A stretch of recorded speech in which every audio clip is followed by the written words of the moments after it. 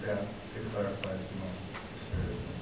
You know, I, I want to talk about the trip to Washington, but, you know, I want to address something else to the Texera has harped on twice, you know, the evidence that I was a hypocrite. I'm going to tell you something. Um, two years, three years ago, I ran for mayor uh, in the general election, and I came in second to Danny Tabor. And uh, I filed my residency change with the clerk's office on time. And paid my money. I ran. And I think four and a half months later, I was informed that a complaint had been lodged that it was discovered that my application had been based down. And they had to go by the date that it was entered into the system, which was on January and I thought that was odd. And, uh, and of course, I went to see the clerk, and she explained a discrepancy that they thought that they, when they verified, they looked at my uh, application from when I lived in Los Angeles. And I thought that was odd too. And why it took so long to come to light. But you know what? Ms. Horton was a gentlewoman to me.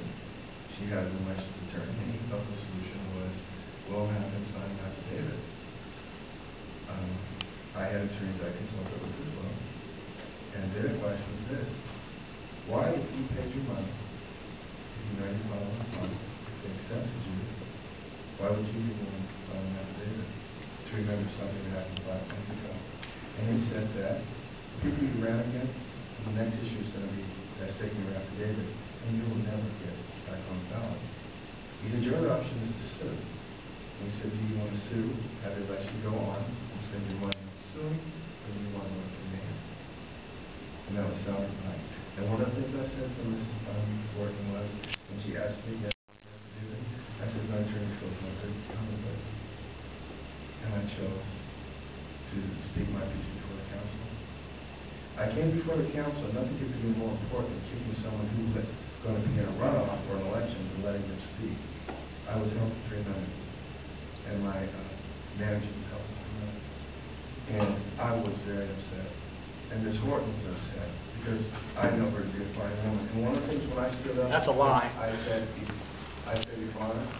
That's I a don't know. What I said, but I was letting you know that I didn't mean to disparage her. I was upset. But I will tell you this, when the council voted, and some of the people that run, ran against me to not allow me to continue, what did I do? Did I sue anybody? No. I went back and I campaigned. So, yes, um, I did have an issue, but Ms. Horton, did you feel I ever called you a liar? Ms. Horton, did I ever call you a liar?